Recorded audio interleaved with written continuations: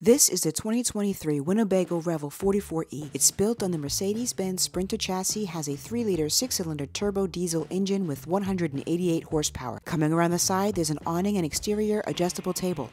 There's the show price, but you can do better.